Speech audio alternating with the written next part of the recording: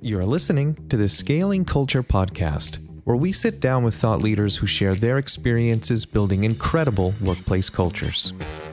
Bill Flynn is the author of the best selling book Further Faster The Vital Few Steps That Take the Guesswork Out of Growth. He's collaborated with Alan Mulally, pitched Steve Jobs, has worked for and advised hundreds of companies, including startups, where he has a long track record of success spanning multiple industries. Today, Bill talks about some key things to building strong organizational culture how to lead a team, how to build a psychologically safe environment, and how to be curious and always find the root cause.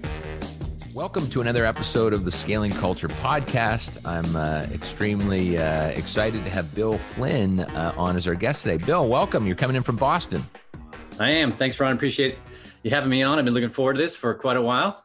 Yeah, yeah, absolutely. I know uh, you and I have been back online, or sorry, back and forth online. We seem to be quite aligned with, you know, our thoughts on culture, uh, etc. So, so it was great. It just seemed like a natural fit to get you on here. Great. I'm glad to be here. And you're in my favorite U.S. city. We just said this. Boston is like I love. I love Boston. I love the underbelly. I, I kind of love that there's some Irish and mafia stuff going on there. I love it actually. Yeah, well, I fit right in. I'm I'm a hundred percent Irish, so you know. Oh my, wow! My uh, grandfather was born in Ireland and came on over here, and so I'm, I guess I'm second generation. Love it. I, am kind of third. My my great grandfather. So I'm, my family's the Conleys. My mom's maiden name was oh, Conley, okay. and my great grandfather was exiled from Killarney, uh, Ireland. Oh, cool. Yeah, yeah, yeah. mine are all from Cork. I, oh I yeah. Grew up, I grew up with the poor people, so yeah. what are you gonna do? And most most of the Cork people are in Australia, I think, because uh, they were exiled a long time ago by the British. Right. Right. Well, look, um, I'm sure maybe this is why we're so connected is these Irish roots. Maybe Irish people also, you know, they run strong cultures there. Uh, that's Very probably true. the case. I'm sure that's it. Let's go with that. Yeah, that's right. So, Bill, tell you, you uh, tell us a little about your your book and and why you decided to write it. Yeah, so um, I I decided to write it because people told me to write it more, more than anything. Uh, I'm I do write, but I write mostly to learn. Um, I don't actually like to write. Uh, it's I find it very difficult. Um, but uh, you know, I've been coaching for three or four, year, four years or so. I've been speaking for a number of years, and uh, although a, a, lot of the stuff that we do, and, and a lot of stuff that you do, and you know, it comes from the past. We've got, you know, we've got Deming and Schein and Drucker and, you know, and all these people that we've built on. And, you know, we've got Verne and, you know, we've got Buckingham and, you know, mm. name your cynic. Yeah. You're all sort of doing the, the same thing over and over again because it works. Um, but I was told often that sort of the way I look at things is a little bit different. It might be just sort of my, my startup background. I've done a ton of startups, you know, that sort of painted me a certain way. But I've also been really curious about business over a long time, mm-hmm. and I'm a neuroscience geek. So I, I sort of I look at things from a first principles perspective. Okay. I'm always trying to break it down into you know what's the root cause of this thing, and so is that what you mean when you say first principles? Is is you, is what's the root cause? Yeah, you keep going. You know, the, the way I like to think about it is leaders often solve the problem that's in front of them. Yeah and and i try to teach them to try to solve the problem that's creating the problem that's in front of them mm. and if you keep moving back in doing that, you'll eventually find out the root cause or pretty close to it. And, and that's a first principle. Um, so, um, so I, I, decided, you know, what the heck, I'll give it a, I'll give it a go. Uh, and I hired a company since I don't like to write. I decided I wouldn't do that to myself. It would probably take me a decade to write. Uh, so I worked with Scribe Media, uh, who I really, I really love. Uh, love Scribe. With. Our second yeah. book's coming out with Scribe. Actually, same. Excellent. We hired them. Yeah. Cool. Uh, so so that was it. And and the main reason why is that uh, since I've been studying business for about 30 years, I found you know most businesses fail.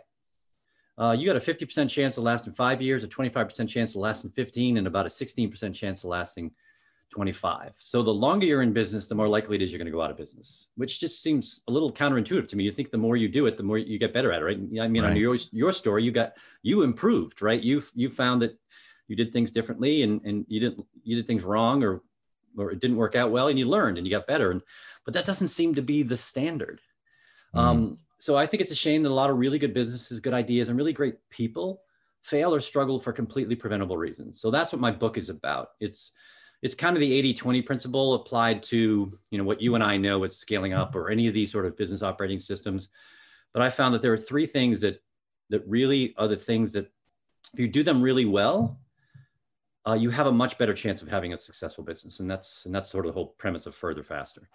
And, and what are those three? Let's walk us through that. Uh, performance is a team sport. I love it. Um, 80% of people are on a, at least one team. Mm-hmm. Yet we don't teach people how to be team leaders. We just right. sort of expect them. It's sort of like parenthood, right? Oh, you have kids. It's like, oh, you know, you'll be a parent. You'll figure it out. But t- leading a team is a skill. Yes. Uh, and it can be taught, uh, but we don't teach it. Uh, we just sort of let sink or swim. The next is um, that you need to have a system. If you're going to build a, a, business that's repeatable and scalable, it has to be systematized. There has to be process, systems and processes that do it. And the main two systems that go together, really two sides of the same coin, are strategy and execution. Hmm. You know, you execute your strategy, uh, and your strategy has to be something that allows you to differentiate yourself from others, to become the choice of the main set of people you want to work with. Uh, and then lastly, if you want to grow your business, cash has to be a primary financial metric. Cash is an antecedent to growth. Uh, and we have to spend in order to grow our business. And we have to spend in front of growing our business. Yet we don't really think a lot about cash. We think about profit, revenue, et cetera. And revenue is great. You know, it's great to brag to your brother-in-law or tell a reporter or whatever. But you need, if you're going to grow in the next two, three, four years, first thing you should do is figure out how much is that going to cost us? How many people do we need to hire? Do we have to bring a factory in? What do we have to do? We have to training, skills, software. Great. Now let's build a plan that generates that amount of cash for us so we don't have to go outside the business to get it. So those Love are three that. things team, a system, and cash. That, that, you know, it's, I was just making a note as you're talking. I think you're spot on with all that stuff, you know, and I think from my experience of the, how each of those things of what you talked about played a significant role. Uh, and if we hadn't, you know, in times that we took our eye off those balls, we we floundered. We really did. And when we leaned in and doubled down, we we did better. So it's great. Um, Bill, tell me when did what was your aha moment? When did you know? Because you didn't really you, you talked about um, providing leadership skills and, and how to run teams, but what about culture? Because it's a huge part of it. We know that. When did when did you have your aha moment? You know, I always talk about mine being reading uh, the book Nuts, where I'm like, wow, is this really true? Like, does this actually work? Wow, it does. I ran into an employee. They confirmed the story. I ripped up the book and went to work. What was your moment where you're like, okay, there's strategy, but man, culture's important here? Yeah. So, I mean, you got the whole standard thing, right? Culture eats strategy for breakfast and all that right. Kind of stuff. You know, so I always found that interesting intellectually, but I didn't, it didn't infuse in me, right? Uh, yeah, when until, did it infuse? When? Yeah, go ahead. Yeah, so about ten years ago, I had a situation where I took over a business. Uh, so I was brought into to a startup, and the guy basically said, "Make me look bigger so I can get sold. I want to be sold for as much as I possibly can." And I'm a sales marketing guy. I'm coming in. I'm I'm an operator. I'm, I'm going to make the thing uh, bigger, uh, which we did. And then he left, and I took over uh, the business. And the day I took over the business, it was an email hosting company before Gmail and, and Office 365 were really something. This was about 2008, 2009. Um, the entire thing collapsed on itself. And I had I had 60 people working for me. It was a almost a $10 million business at the time. Uh, so I had to do something. Uh, and I I had been studying business for a while. It's Some really good CEOs. And I and I said, what do I need to do? And, and I, I need to be able to create an environment where I and the team can make this thing work so very similar to your you know you, I, I, guess we consider your famous story with the guy with the with the car ashwani uh, Shwani, that's it. I always forget his name, Ashwani. He's famous. Uh, I made this guy famous. He made me, did. He did. he made me rich. I made him famous. um, so you know, I said, I said, guys, here's the deal. I, I, don't know how to do a lot of the stuff in the business. I don't know how to run a network infrastructure. I've never run tech support before. Finance, I've got no finance background whatsoever. So I said, we have to create this environment. So my job is to tell you where, where I think is a good ending. You know, what's a good vision? Where, what, what does it look like when we get there? And your job is to, to debate me and, and, and challenge me and, and, and make sure that we're, we're all aligned on that. But once we do that, then I need you to go ahead and make it happen in your, your part of the world. And we're going to work together. So that was sort of, um, I, I started that as a premise, you know, sort of intellectually. And, and it worked fabulously. Um, we turned the business around. Uh, we lost a thousand customers in like a week, and then I had to spend months trying to wow. trying to trying to keep it going. We had seven or eight thousand customers at the time, but I didn't lose one employee. Um, they were much happier and engaged. And we did some fun things around culture, you know, and, and rewarding and, and, focusing on that one critical thing that we need to get done to make sure that we were successful. Um, uh, we, uh, I left to do another startup after, but basically the business doubled in about two years. Um, we, so, so we increased- let me just play that piece back yeah. to you. So it was getting these people finally engaged, getting them aligned really was, was instrumental, pivotal in turning the business around. Exactly. And I look so, back and I'm like, wow, this this stuff really works, right? Works, right? Because um, until you see the actual return, the outcome, it's it's fairy tales, right? Exactly. And and how I knew it worked is we I did this one thing that um, we called it uh, the Spark system, right? And it's in my book. Uh, and what you could do is you could so the, the company was called Group Spark. So we took the Spark and we verb, reverbified it and you could anyone could spark anyone else. And it was around service. We were, we were an email hosting company but basically we were a service company. Uh, and so if you saw someone who was doing a great job helping out a customer going above and beyond or someone who was helping someone go above and beyond then you could spark them. You know you don't need permission. You would write out an email uh, telling what they did. Uh, we give them 50 bucks immediately. At the end of the month we gather them all together. Who got Everyone the 50 got, who wrote it or who, who was nominated uh, the person who nominated the person would write it up. Uh, who did who did the you know the the over? So I nominate you. I get fifty. You get fifty. Uh, no, no. I'm sorry. The person who got fifty was the person who was nominated. nominated. Gotcha. Okay. I was gonna say that person yeah. got ripped off. I just started yeah, nominating people. um, and what was when I sort of knew culture was there it was we, we did this blue ribbon thing, and you know these are we're all 30, 40, 50 years old. You know, it's kind of hokey. But right. when I walked around, it was all cubes. When I walked around the office, when you, so if, you've probably been in a cube environment, you, you, you, know, you can't really see the person, maybe see the top of their head until you get to that point in the cube where you can see in. And guess where all the ribbons were? They were on the wall opposite that. They wanted you to see their ribbon as soon as you walked in their cube. They weren't ah, hiding it. It was prominent. And I said, you know what? This thing's kind of working. Yeah, we're on to something. Yeah. And so you talk about psychological safety. And I'm assuming that when you're seeing this, when you're in it, you maybe didn't know the importance of that. And this became later on. Tell me more about psychological safety when that hit you. And then, and then how do you implement that? How do you achieve that? Yeah, well, psychological safety is from Amy Edmondson. Uh, she's a Harvard Business uh, School professor and a researcher. She's coined the term, I don't know how many years ago. Um, and, you know, she's I love the way she sort of talks about it. She says, you know, it turns out that no one wakes up in the morning, jumps out of bed, and says, "I can't wait to go to work today to look ignorant, incompetent, intrusive, or negative." Right? We we we want to be the opposite of that, but we create this environment, mostly inadvertently, where if you don't want to look incompetent, don't don't don't um, say that you're weak. Right? If you don't want to look ignorant, don't ask any questions. If you want to look intrusive, don't offer ideas. And if you want to look negative, don't challenge the status quo. And that's how the environment that we create psychological safety is, is the opposite of that. It's creating an environment where you can you can say i don't know something. I made a mistake. Um, uh, i'm sorry. And you're not going to get retribution or ridicule or scorn for doing that. Uh, and when you do that you basically give people's brains back to them and allow them to start helping you get to where you want to go as opposed to you pulling them along. You just naturally used our, our uh, what do you call it? The subtitle of outrageous empowerment, giving people their brains back. You just use it. I probably I stole it from you, Ron.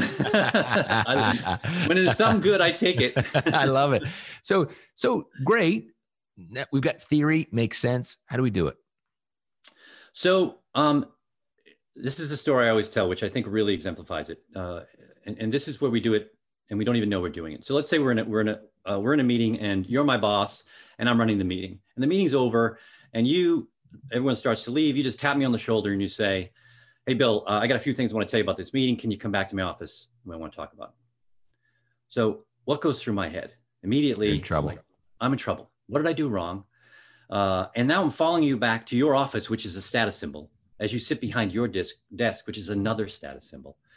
And by the time I'm, I'm sitting there, I have already gone through and catastrophized, right? I have said, oh my God, am I going to get fired? If I get fired, you know, I'm not going to be able to send the kids to college. We're not going to be able to take that great vacation, et cetera. So by the time I'm sitting across from you, my brain is in full threat mode.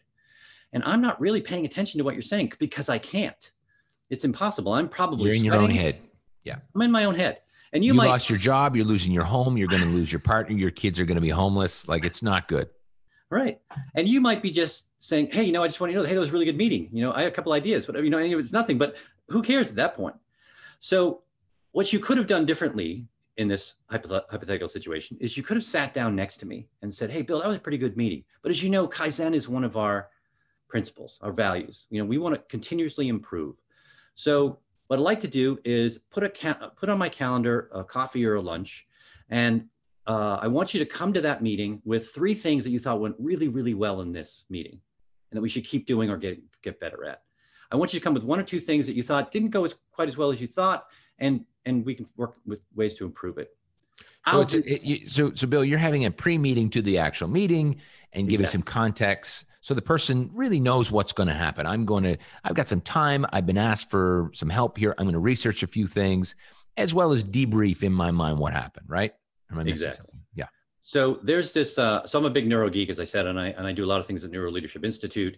And, and David Rock has come up with something called, uh, the guy who runs it is called SCARF, which stands for status, certainty, autonomy, relatedness, and fairness. And, and his theory is that your brain is assessing these things Eh, several times a second. Are you a friend or a foe? Am I safe or not? Etc. And the first thing you did, you inadvertently triggered a number of those things, right? You, clearly triggered status, you, certainty. I had no idea what we are going to do. I was completely out of control. I was following you back to your office, and you were going to tell me what.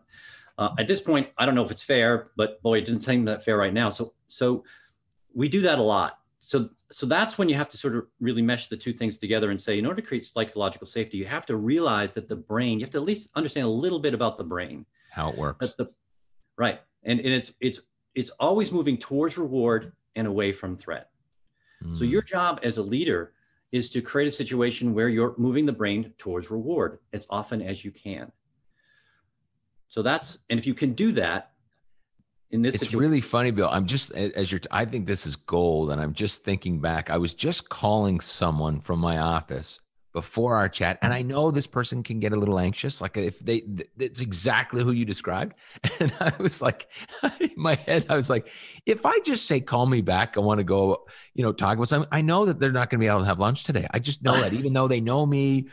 And so of course in my message you know a similar version of this i said i've got some ideas i wanted to run by you and I think just hearing that would bring them down a little bit and be like, oh, this is a safe conversation. Ron's just going to, you know, he's got some what if ideas here. Uh, it, it seems like it's in similar context to that, right? It's a pre priming of that. And I love that. So I want to go through that again. Scarf, walk us through again and, and, and kind of talk through this point uh, or, or the, you know, go back to this, um, uh, this visual and, and, and go back to the, uh, the different letters. Sure. So, um, so again, again. The, the, the premise is that you're, so uh, there's a great there's a great quote. I love Bill Bryson. I don't know if you know who Bill Bryson is. He's a great no. writer. He's Walk in the Woods and and some other things. He's he's sort of this uh, satirical guy, and he's written this book called I think the the Body, and he talks about the brain. He said the great paradox of the brain is that everything you know about the world is provided to you by an organ that itself has never seen the world. It exists in silence and darkness, like a dungeoned prisoner. It has no pain receptors, literally no feelings. It's never felt warm sunshine or a soft breeze, to your brain, the world is just a stream of electrical pulses like taps of Morse code. Very and out of the bare and neutral information it creates for you, quite literally creates a vibrant, three dimensional, centrally engaging universe. Your brain is you. Everything else is just plumbing and scaffolding. Um, so you need to understand that that's the way it is. And, and, and so when you, when you understand that that's what the brain is doing, the brain is basically designed to keep you alive. And more so, it's, it's to keep you not dead. So it's always it's always going biasing towards negativity, and you as a leader have to understand that. Um, so the scarf is a great methodology that I, I, use. I use it with like Pat Lencioni's five dysfunctions and that kind of yeah. stuff. They sort of mix well together. So I teach that you know there are five things. There's there's science out there or research out there that says uh, your brain is doing this five times every second. It's assessing the environment. Um, and these five things are SCARF, uh, which is status, meaning uh, are you above me or below me? Uh, you got certainty, which is, you know, do I know what's going to happen? Do I have understanding of what, what's going to happen? But but I want to stop at certainty for a sec because I want to yeah. go back to that exact example I just gave of giving someone a phone call. I've had lots of conversations with that person, but I still know how their brain works and and and even though they know the play they will um what's the word i'm looking for they, they'll they'll always anchor to uncertainty right yeah. Okay. Keep going. Yeah they will. And so so that's the other thing you, you make a really good point which is you can't treat everyone the same. You have to no. treat everybody unfairly because we all are coming at this in different ways. And, and i think covid you know we're in the middle of covid right now. Everyone is experiencing covid differently. And depending on how they're experiencing it is how they're going to bring themselves to a conversation or to a relationship. Uh, so, you know, if, if you're really, really afraid of COVID, um, you're going to be a different person until you feel like it's a safe thing again. I, I have a, it's funny, I have a family down the street that, that we, we hang out with and, and the dad is completely scared. He, he has walled himself off from the rest of his family because he's wow. got teenage kids and he just is deathly afraid. His but wife Bill, is, Bill, does he just not want to deal with them? Let's be honest. Well, you know, let's call him out. Let's call that is him an out. excellent point. I got to do the same thing. I got a two and a four year old, and I'm just terrified that I'm going to sneeze on them. Uh, yeah, true. Well, he's got teenagers. He's afraid they're going to even worse.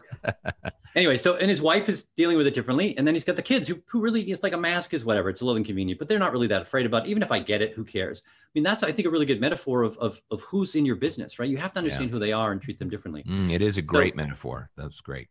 So autonomy is control. Do I have any control over this situation?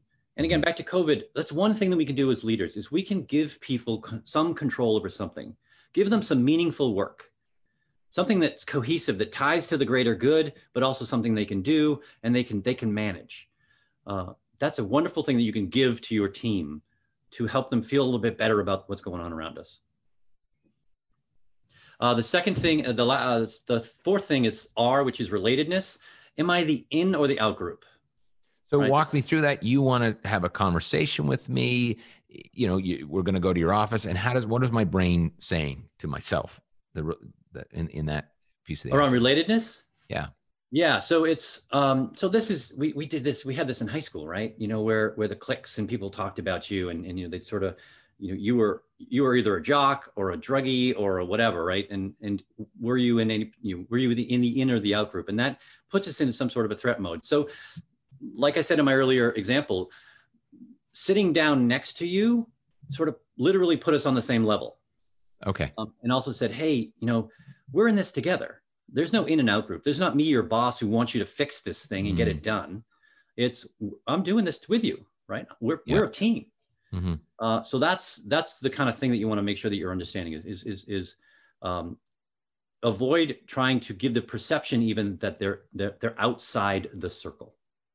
Right, which is done through hey, come down over here, sit on the other side of this desk. It's me versus you. There's some separation here. So, you know, almost like if you're sitting down in a comfy chair to have a discussion with someone, there's no border of the, the, the boardroom table. You know, even that alone helps with, you know, bringing that person closer, feeling a little safe. Would that make sense? Exactly. Exactly. Okay. Uh, and then lastly is fairness. And, and I always joke, I think we, we as human beings have a fairness gene. Right. You know, we, we will actually um, do things to harm ourselves because we think someone else is unfair. Uh, and there's a there's a, a game called um, the ultimatum game that's been done for decades in science, uh, where there are two people who sit across from each other. You give one of them 10 bucks, and they have the right to give any amount of money to the other person. But the other person has the right to re- refuse the money. And if they refuse the money, neither party gets any money. And this has been done again for 30 40 50 years. And the same results always come out is if if the person getting the money doesn't think that the amount is fair they will reject it which is completely irrational because they went into the room without any money they didn't have that money. It's it's a gift. Right. But we will reject it if we think something is unfair. And so that's the last thing. We, we want to make sure that something feels right feels like it's the right thing. Okay. I, I love that. And so go to um, you talk about leading with your brain and your mind, correct? Your brain and mind, yes. Yeah, tell me more about that. So, as each team leader, each founder, each leader in the organization, how do we do unpack that and, and let's get to the how again? Yeah. So again, you you need to understand that we're all crazy. Human beings have we're just crazy. I'm not crazy. I am not. I'm the one person. I'm the one guy who's not crazy. all right, well, good. well, then you can set me straight. That'd be awesome. no, uh, I'm good and crazy. This is good we are we're irrational impulsive we're highly emotional um, when when I learned about 15 years ago when I was doing sales, um, and I wasn't a very good salesperson. I, I, was saying, why am why am I not a good salesperson? I'm I'm pretty smart. I know my product really well. I'm, I'm a relatively good, a nice guy. People like likable, yeah. But I wasn't really good at it, and and so I boiled it down to, well, what is what is sales really? It's it's helping someone else make a decision. And so I studied. This is how I got into neuroscience. Was how does how does the brain make a decision? And it's not the way I thought. I thought, you know, it's rational, right? Um, uh, you take the economic view, right? It's rational humans, and they'll look at the data, they'll weigh it, and that is not true at all. When we make a decision, our our emotional centers of our brain light up first. So we actually make the decision on emotion, and then we make up the reasons after. So in essence, to be quite honest, we're lying to ourselves right. most of the time as, as to why we're doing something. So as a leader, you have to understand that. You have to understand that you're really working with emotional people first. And that's why this whole sense of psychological safety is so important, right? Making sure that you instill a growth mindset, that people, that you know that they're not all, ever at their full potential. There's always, always something they can learn, they can get better at. You know, there's, there's limitations and you know, cognitive load and all that kind of stuff, but, but, but the, the, the wonder of the human brain is that it's plastic and it, and it can change and it can learn new things. It might take some people longer than others, but most stuff you can learn if you put in the time and effort and have the passion and the love for it. You can you can get pretty good at some of these things. Dan Coyle's done this around around you know sports and such. He's written a number of books. One called The Culture Code, which I love that. I, I I didn't recognize the name at first, but that was one of my favorite culture books. I really love the stories. Yeah, so, so in order to lead with the brain and mind, you have to understand that we're all a little crazy, and and you have to you have to understand that you're the you're the the symbol that they're looking at to set the standard for this. So what I say is you need to get, be comfortable with I'm sorry, I don't know, and I need help. Right.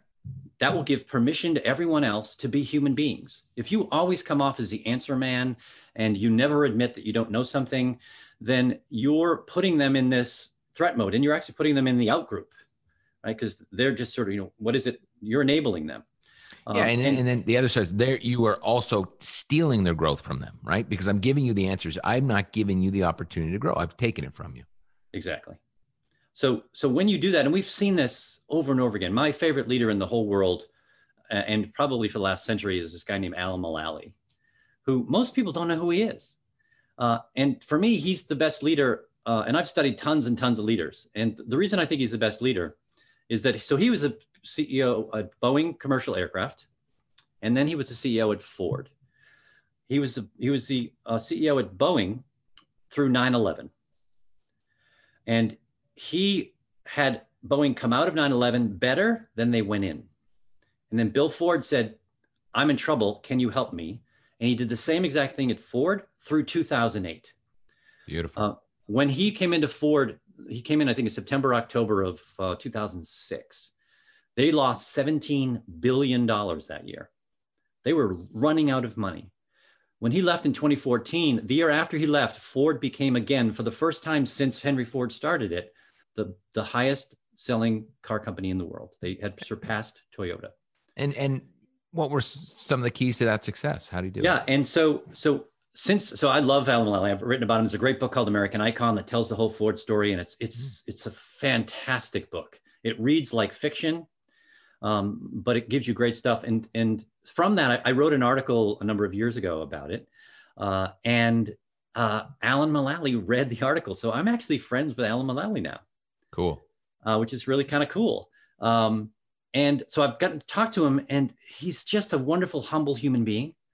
And I said, you know, I, I asked him sort of, how did you do this? He says, you know what, Bill, you got to love them up. That's what you got to do. However, you also have to make sure they understand the standard and hold them to the standard. Right. The combination of, of, you know, they, it's like this with, you know, they say this in families, you can discipline your children. You can even be tough on them sometimes, but you need to, you need to double down in the way you love them. And if you do that, you'll have a good result. You know, you're saying the same thing essentially, right? Standards exactly. and love them up. So really uh, treat them well. And he said, that's it. And in a nutshell, that's what I did. That's, I mean, he did a bunch of other stuff, but yeah, yeah but in terms of, he had to create that environment. Yeah. So, because, you know, it, it's a huge company with, with, you know, they had Pontiac and, uh, not Pontiac, they had, um, Jaguar and and Volvo and a bunch of other brands. They had the Taurus, right. they had all these things, and and uh, it was a very macho culture when he went to it. It was you, you don't admit ever admit when you do something wrong. Um, and he used to have a meeting uh, every week with his entire team, like six o'clock in the morning, and the people, tons of people on the phone. And it was a quick, it was a red, green, yellow meeting, and they just went through the standard, the standard four or five things. And he said the first four or five meetings, everything was green. And he finally said, "Guys, when I came on, Bill told me we're going to lose $17 billion here. You think everything is still green? Mm. And that one guy finally did it. And he said the air came out of the room when the guy spoke. And uh, and then he said I started clapping, and he and everyone thought that that was the signal to have the two big, you know, bouncer guys come in and grab Mark Fields out of his chair and rip out of the room, right? And um, but and Bill, what what did Mark say? He said we have a problem. He had shut down production of his line. Yeah, that's a problem. They're not making any cars. A car maker right. who doesn't make any cars is probably not in green. Right. Right. But he had he had to let them come to it. Right. He he was patient. He didn't say, no, I know you're not red, you know, make it red. He just waited. And he waited for someone to do it. And finally someone did it. And then eventually everyone started doing red and they started helping each other because Mark spoke up, Mark Fields, who actually took over from Alan Mulally when he left. Um, and he told his problem. And then someone said, Oh, we had that problem in Europe. Let me help you. We, oh, we've had that manufacturing thing over here, whatever. And, and he said, Once I started to see that, I knew we were okay because he knew he had created that culture. He created that safety that people could say, Yeah, we're not perfect, but we can help each other get out of this. I love it. And so I guess the last um, piece, which this kind of lets us flow into, is is you know giving unlocking people's potential. That's what he's doing. And so does it does it work like that once you create this safety if you lead properly you know with, with with, your brain and your mind you know does that automatically unlock potential or what else do we need to do? Yeah i don't think it automatically does. I think it gives the ability for people to then figure out how can i be my best self at work? And how can i get the best results at work? So um, I, am a big fan of Marcus Buckingham and, and, and Ashley, who you had on, Ashley yeah, Goodall. Goodall. Huge fan of their stuff. Um, so I'm going to steal a little stuff from them. But basically, you know, we as human beings are not well rounded. We just aren't. Uh, and we have to understand that as leaders is that people skew towards certain things. Um, and your job as a, as a team leader is to figure out the brilliance of someone else and then notice it when they do it and then dig into that and figure out you know how mm. did you do that? Let's let's figure out how you can do that. What, what are those things that you love doing that when you're in flow right? As mikhail Aish, whatever his name is Chikno Mikhail, no, you say his name um, says you know when when time just just it disappears. Right. You want to get your team members to be doing that as often as possible as long as it connects to the larger function and purpose of the team or, and or the organization. If you right. can combine those two things that's when the magic happens. Yeah so you got to do the safety environment first, which then mm-hmm. gives people the the you know the the comfort to be able to say, you know what, I don't really like doing that. Mm-hmm. Uh, I kind of like doing this. Uh, and if someone really loves doing something, they will eventually get very good at it. They may not be good at it at the time, but they'll be very good at it. And they're going to put time and effort. They're probably going to do it much better than you. Um, so, so when you find that and you get those magic combination of things, that's when the team becomes well-rounded and it starts to just, uh, as I like to say, the magic starts to happen. Yeah. And so that becomes, you know, I think the key starting point there, if I'm hearing you correctly, and, and from Marcus's and Ashley's theory is, you know, Bill, I saw you do something great. Stop. Tell me more. How did you do that? Really digging into that one thing, this exciting moment. We need to get to the how, right? Exactly and then and so hoping that how connects to the to the business that we can do you can do more of that. This isn't just a one-off thing. If you do more of that it's going to the result to the business is going to be x right? Exactly. So yeah. for me my example is uh, i'm i'm a very curious person. I'm a horrible student but i'm an excellent learner. If you love that. Right? i would agree. I'm gonna i, I think I, that sums me up. I was terrible. I mean uh, if you look at my iq I should have been a straight A student through high school and college. I was not because it, I didn't get it. Um, I, but the stuff that the things that I loved, whatever class it was that I loved, I got an A in it. It was just like a, a given. Um, so uh, what I found is that I have two really big things that that have helped me to be successful, especially in the startups, is I'm highly curious. I, I love to dig in. I love to ask a lot of questions and really understand again root cause and something called I, I love etiology, which is the study of root cause. Um, and the second thing is my brain seems to be pretty good at at um, pattern matching.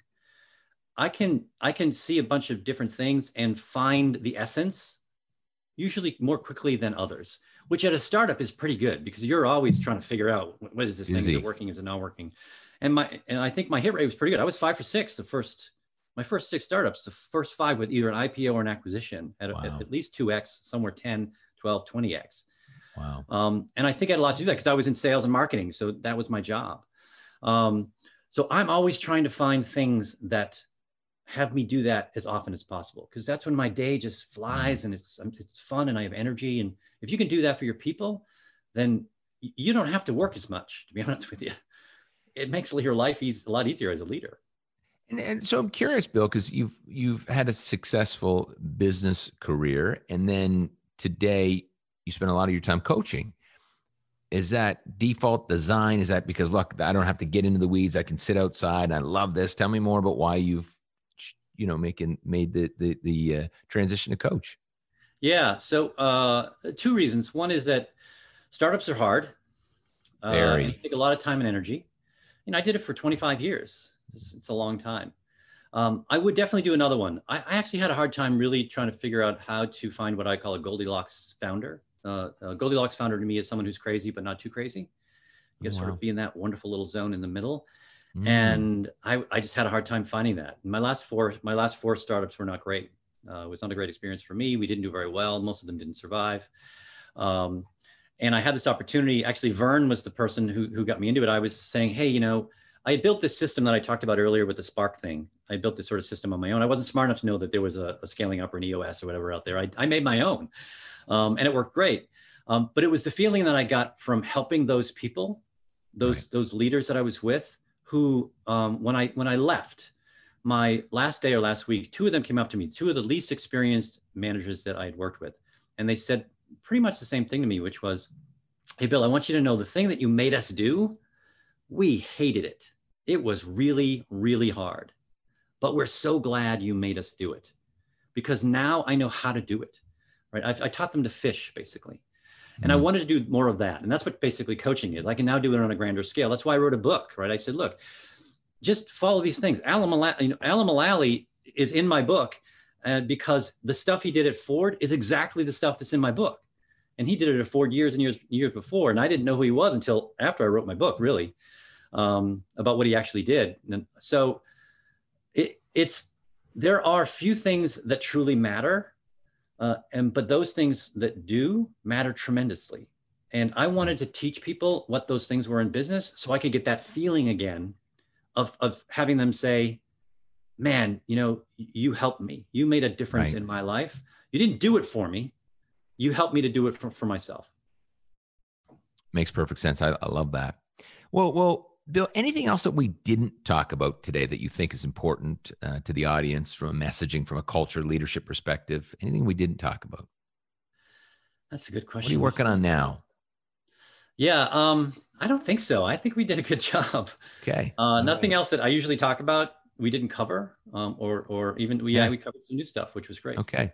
You know, it's funny. I'll go back to your comment uh, during the pandemic. I've I think two things. I was I was looking for this aha moment. You know, i have been an entrepreneur since I was 21 years old, and um, I think two things hit me. One, I, I certainly had leadership fatigue. You know, and as leaders, not just founders, as leaders in organizations, um, you know, you don't get the pat on the back. You you have to keep it all together financially. This that you know, it, I mean, is just a lot of pressure. And so I found that. Uh, and the other thing is to your point, I don't know if I'll do another startup. I think I would the exact same strategy, find the right person and make a bet, um, which is also, you know, there's there's a 60% chance that doesn't work either. But I don't think I at 41 have the energy to to do that now. I, I I think I will acquire companies, partner with people, invest. I don't think I'll start from scratch another business. Yeah. Well, my so I I, I everything that I do with my clients, uh, I do for my own company. And my purpose is ser- simplified servanthood. So I want to help people simple, simplified servanthood. Simplify servanthood. That's uh, and my BHAG is touch a million lives. So I'm at 30, about 30,000 right now. So I got a long way to go. So what and, am I? 30, 30, yeah. 3001? I don't, I don't count you, but I'm, you know, I can put you on there if you want. Put me on there, man. I'm making notes. This is beautiful. This is great.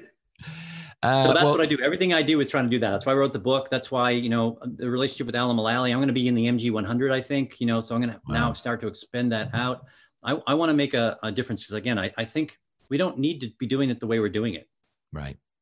Um, so that's my purpose and I'll do that until I can't do it anymore. Love it. Well, well, Bill, look, thanks for your time today.